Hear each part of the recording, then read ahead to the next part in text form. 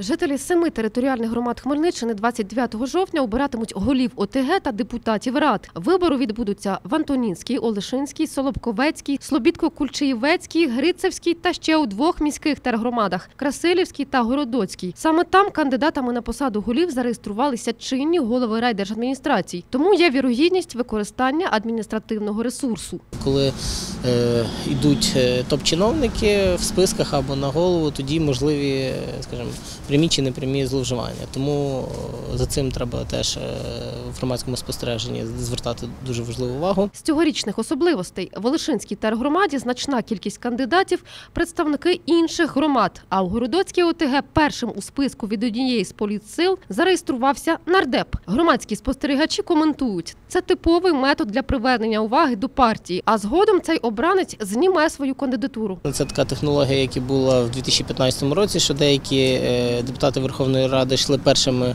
в списках для того, щоб просто їхнє прізвище було в бюлетенях. е, е, Впізнаваним для людей з цієї громади. Потім вони відмовляються від е, посади депутатської, коли вони проходять, і наступний за списком піднімається Поки агітація йде досить мляво, кажуть представники опори. Очікується, що кандидати у депутати та голови ОТГ активізуються в останні два тижні перед виборами. Світлана Русіна, Володимир Саприкін для інформаційного випуску.